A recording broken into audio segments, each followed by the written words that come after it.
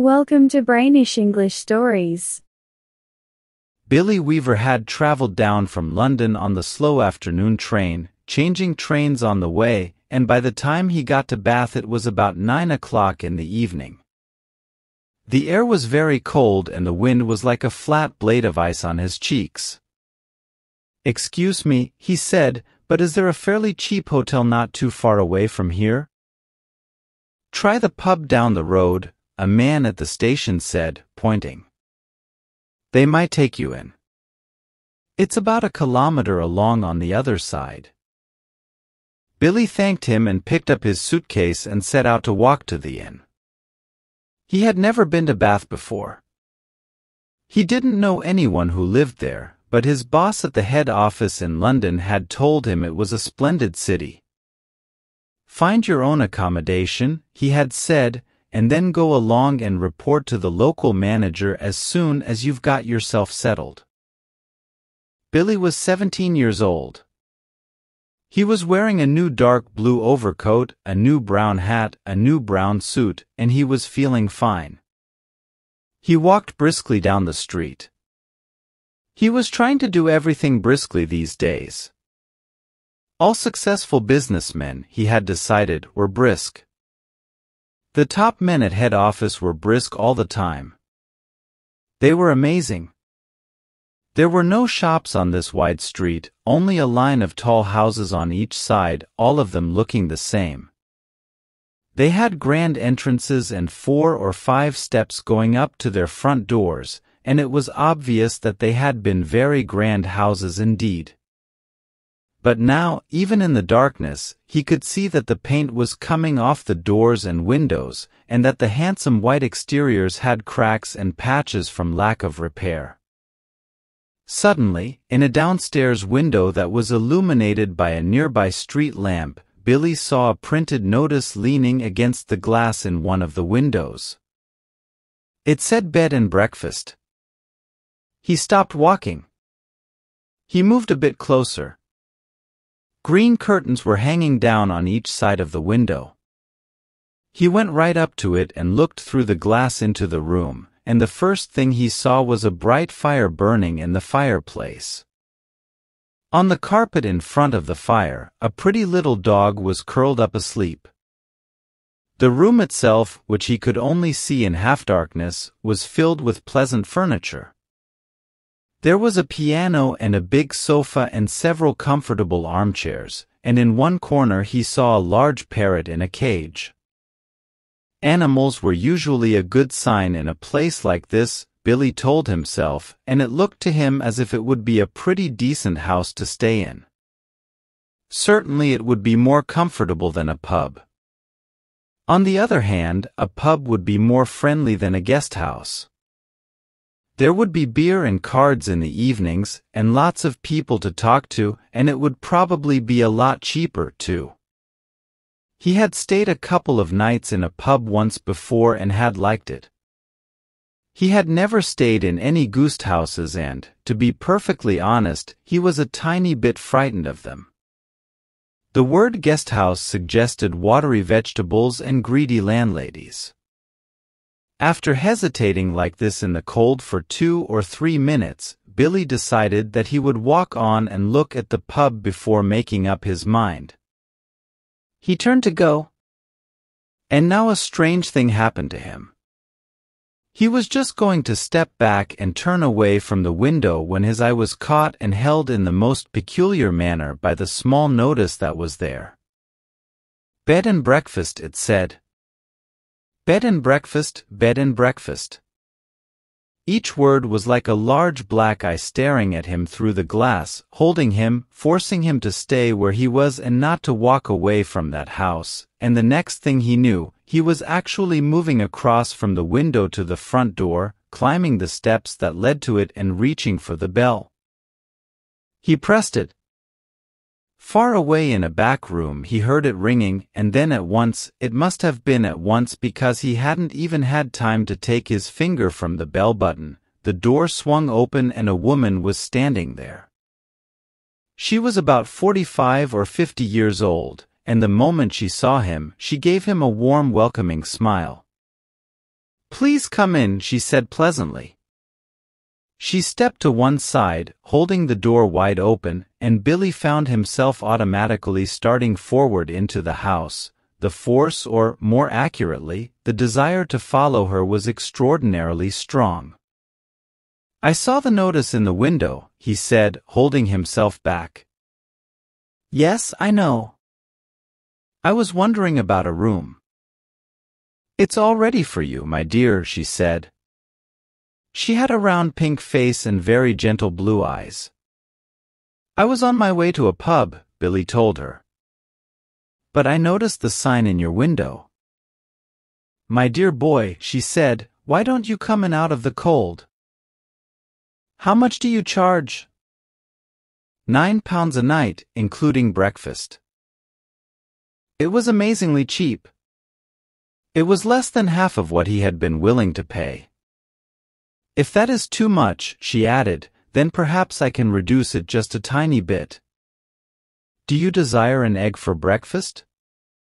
Eggs are expensive at the moment. It would cost less without the egg. Nine pounds is fine, he answered. I would like very much to stay here. I knew you would. Do come in. She seemed terribly nice. She looked exactly like the mother of one's best school friend welcoming one into the house to stay for the Christmas holidays. Billy took off his hat and stepped inside. Just hang it there, she said, and let me help you with your coat. There were no other hats or coats in the hall. There were no umbrellas, no walking sticks, nothing. We have it all to ourselves, she said, smiling at him over her shoulder as she led the way upstairs. You see, I don't very often have the pleasure of taking a visitor into my little nest. The old girl is slightly mad, Billy told himself. But at nine pounds a night, who cares about that? I should have thought you'd be simply full of visitors wanting to stay, he said politely. Oh, I am, my dear, I am, of course I am. But the trouble is that I am just a tiny bit careful about whom I choose, if you see what I mean. Ah, yes. But I'm always ready. Everything is always ready day and night in this house just in case an acceptable young gentleman comes along. And it is such a pleasure, my dear, when now and again I open the door and I see someone standing there who is just exactly right. She was halfway up the stairs, and she paused, turned her head and smiled down at him. Like you, she added, and her blue eyes traveled slowly all the way down the length of Billy's body, to his feet, and then up again. On the first floor she said to him, This floor is mine. They climbed up more stairs. And this one is all yours, she said. Here's your room. I do hope you'll like it. She took him into a small but charming front bedroom, switching on the light as she went in. The morning sun comes right in the window, Mr. Perkins. It is Mr. Perkins, isn't it? No, he said. It's Weaver. Mr. Weaver. How nice. I've put a hot water bottle between the sheets to warm them, Mr. Weaver. And you may light the gas fire at any time if you feel cold. Thank you, Billy said. Thank you very much. He noticed that the bedclothes had been neatly turned back on one side, all ready for someone to get in.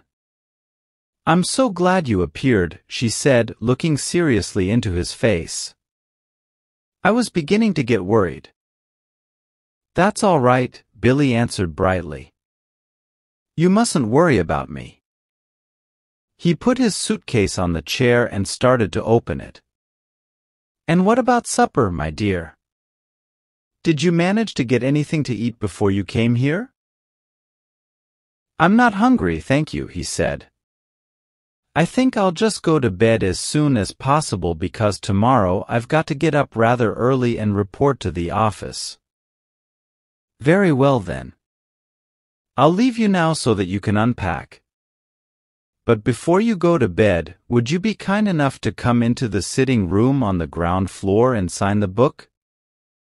Everyone has to do that because it's the law, and we don't want to break any laws at this stage in the proceedings, do we?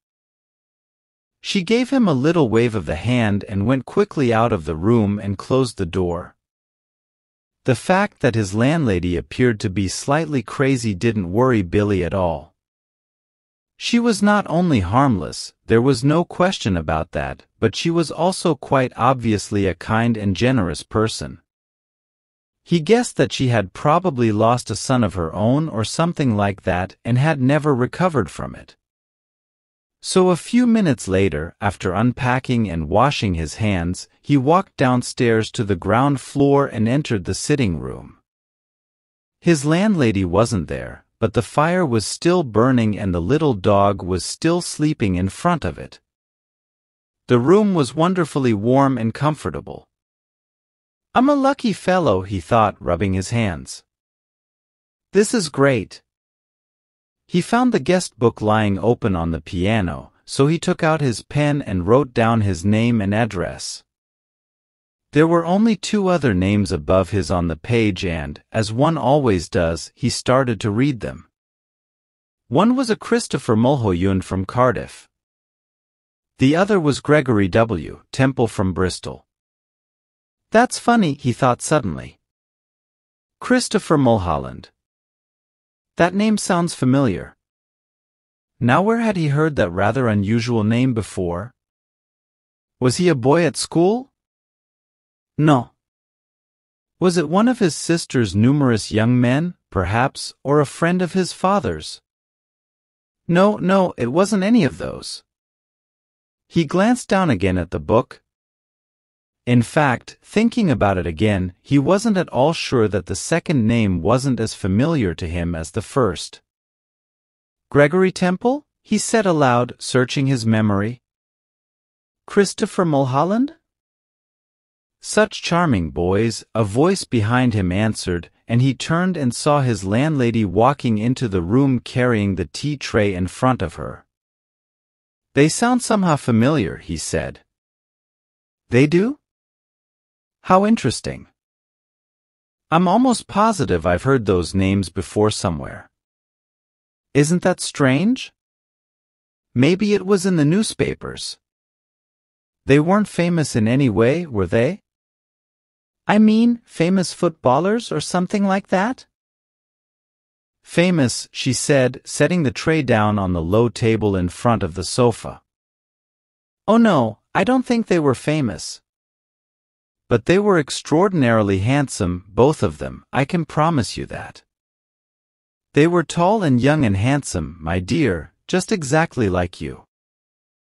Once more, Billy glanced down at the book. Look here, he said, noticing the dates. This last entry is over two years old. Is it? Yes, indeed. And Christopher Mulholland's is nearly a year before that, more than three years ago. Oh dear, she said, shaking her head. I never would have thought it. How time flies away from us all, doesn't it, Mr. Wilkins? It's Weaver, Billy said. W-A-V-R ponto.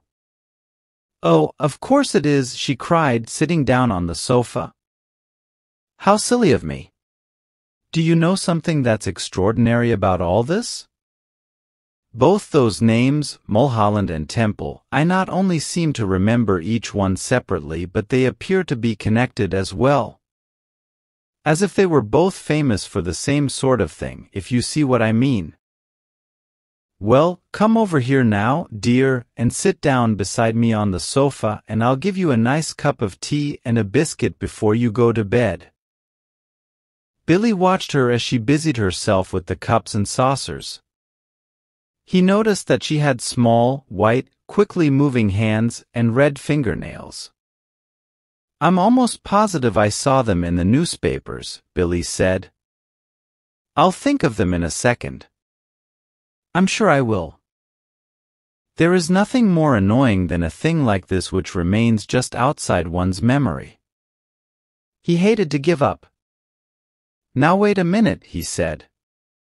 Wait just a minute. Mulholland. Christopher Mulholland, wasn't that the name of the schoolboy who was on a walking tour through the West Country, and then suddenly? Milk, she said. And sugar? Yes, please. And then suddenly? Schoolboy, she said. Oh no, my dear, that can't possibly be right because my Mr. Mulholland was certainly not a schoolboy when he came to me. He was a university student. Come over here now and sit next to me and warm yourself in front of this lovely fire. Come on. Your tea's all ready for you. He crossed the room slowly and sat down on the edge of the sofa. She placed his teacup on the table in front of him. There we are, she said. How nice and comfortable this is, isn't it? Billy started drinking his tea. She did the same. For half a minute, neither of them spoke, but Billy knew that she was looking at him. Her body was half turned towards him, and he could feel her eyes resting on his face, watching him from over her teacup. Now and again he caught a peculiar smell that seemed to come from her direction. It wasn't unpleasant, and it reminded him, well, he wasn't quite sure what it was. New leather? Or was it the corridors of a hospital? Mr. Mulholland loved his tea, she finally said. I've never seen anyone in my life drink as much tea as dear, sweet Mr. Mulholland. I suppose he left fairly recently, Billy said. Left, she said. But my dear boy, he never left. He's still here. Mr. Temple is also here. They're on the third floor, both of them together. Billy put down his cup slowly on the table and stared at his landlady. She smiled back at him and then put out one of her white hands and patted him comfortingly on the knee. How old are you, my dear? she asked. Seventeen. Seventeen, she cried. Oh, it's the perfect age. Mr. Mulholland was also seventeen. But I think he was a little shorter than you are, in fact, I'm sure he was. And his teeth weren't quite so white. You have the most beautiful teeth, Mr. Weaver. Mr. Temple was a little older. He was actually 28. I wouldn't have guessed it, though, if he hadn't told me. There wasn't a mark on his body. A what? Billy said. His skin was just like a baby's. There was a pause. Billy picked up his teacup, drank some more and then put it down again in its saucer. He waited for her to say something else, but she seemed to have fallen into another of her silences. He sat there looking ahead, biting his lower lip. That parrot, he said at last. You know something? It completely fooled me when I looked through the window from the street. I thought it was alive. Sadly, no longer. It's very clever the way it's been stuffed, he said. It doesn't look at all dead. Who did it? I did. You did? Of course, she said. And have you met my little Basil as well? She nodded towards the dog curled up so comfortably in front of the fire. Billy looked at it. Suddenly he realized that this animal had all the time been as silent and motionless as the parrot. He touched it gently on the top of its back. It was hard and cold but perfectly preserved. Good heavens, he said. How very interesting. It must be awfully difficult to do a thing like that. Not at all, she said. I stuff all my little pets myself when they die. Will you have another cup of tea? No, thank you, Billy said. The tea tasted faintly bitter and he didn't really like it. You did sign the book, didn't you? Oh, yes. That's good. Because later, if I forget what you were called, then I can always look it up. I still do that every day with Mr. Mulholland and Mr. Mr. Temple, Billy said. Gregory Temple. Excuse me for asking, but haven't there been any other guests here except them in the last two or three years? Holding her teacup high in one hand, moving her head slightly to the left, she looked at him out of the corners of her eyes and gave him another gentle little smile. No, my dear, she said. Only you.